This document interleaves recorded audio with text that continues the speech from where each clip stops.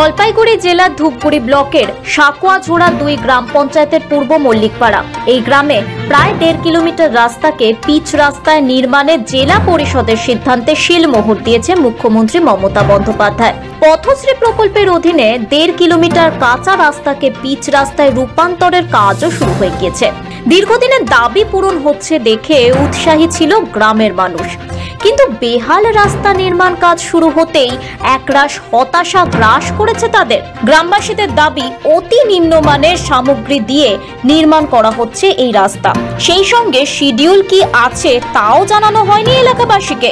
নিম্নমানের রাস্তা নির্মাণ দেখে ক্ষোভে ফেটে পড়েছে স্থানীয় বাসিন্দারা।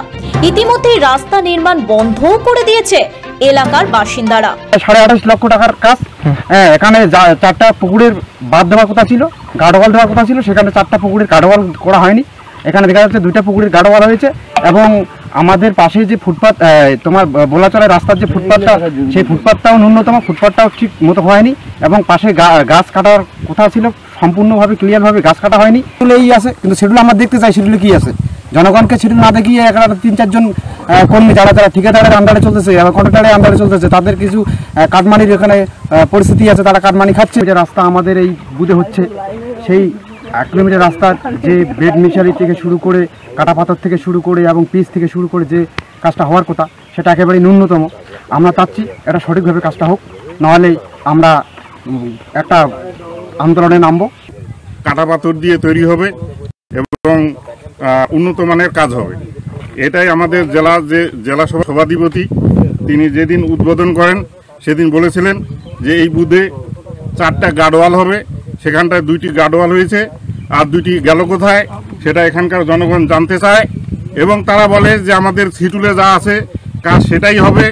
এখানটায় দেখা যায় যে কাঁটা দিয়ে রাস্তাটি তৈরি হবে সেই কাঁটা পাথরের তুলনায় আজকে যে পাথর বিছানো হয়েছে, সেই পাথরটি হচ্ছে সিসি রোডে যে সমস্ত পাথর বিছানো হয় সেই সমস্ত পাথর এখানটায় বিছানো হয়েছে। যেটা ঠি- ন্যায্য সেটা করুক এখানে সামনে দেখেন রাস্তার পিচ এইভাবে রাস্তা হইলে হ্যাঁ এই রাস্তা মানি নেওয়া যায় না। যাতে সঠিকভাবে রাস্তাটা হয় এইটাই আমরা চাই আমাদের এখানে এলাকাবাসীর দাবি। কয়দিন হলো এখানে পিচ পড়েছে? কেন বোধ দুই দিন না তিন দিন হলো তাতে কি পিচ উঠে আসছে এই তো উঠতেছে দেখেন না সামনে আছে দেখেন সাধারণ মানুষের অভিযোগের সঙ্গে সুর চড়িয়েছেন রাজ্যের বিরোধী শক্তির নেতারা। স্থানীয় বিজেপি নেতার দাবি কাটমানি খাওয়ার জন্যই রাস্তা নির্মাণ শিডিউল মেনে হচ্ছে না। সেটা অভিযোগ করছে শিডিউল কিন্তু শিডিউলটা কোথায়? শিডিউলটা দেখাক গ্রামবাসীদের। যে এই শিডিউল আছে এই এই কাজ আছে। শিডিউলটা দেখাক। ওদের হিম্মত আছে? শিডিউল দেখাক। কি মনে করছেন? এখানে কি মানে পঞ্চায়েত প্রধানও কি কাটমানির সঙ্গে যুক্ত রয়েছে? এখানে সবগুলো যুক্ত। এখানে একটাও যে মানে যুক্ত নয়, তা নয়। এখানকার উপপ্রধান থেকে শুরু করে এখানকার তৃণমূলের বড় তাবর তাবর নেতারা এর সাথে যুক্ত। কেন? এখানে জনগণের সাথে এসে তারা সমস্যাটা আলোচনা করে মেটাতে পারছে না শিডিউলটা আলোচনা করতে পারছে না। যে এই রাস্তার কীভাবে করা যাবে, আপনাদের রাস্তা, আপনারাই দেখুন, আপনারাই হাঁটবেন। কিন্তু কিছু কিছু জনগণ তো বলছে আমাদের কাঁচা রাস্তাই ভালো ছিল। এখন পাকা রাস্তা হয়ে দুই চার পনেরো দিন, এক মাস পরে এই রাস্তা শেষ হয়ে যাবে, তখন আমরা কীভাবে যাব? তবে সাকুয়াঝোড়া দুই গ্রাম পঞ্চায়েতের উপপ্রধান ও ওই এলাকার সদস্য সুখচাঁদ সরকারের দাবি রাস্তা নির্মাণ হচ্ছে সব নিয়ম মেনে। অন্যদিকে জলপাইগুড়ি জেলা পরিষদের সদস্যর দাবি গ্রামবাসীদের অভিযোগের তদন্ত করাবেন তিনি। এর জন্য জেলা পরিষদের ইঞ্জিনিয়াররা যাবে নির্মীয়মান রাস্তা দেখতে।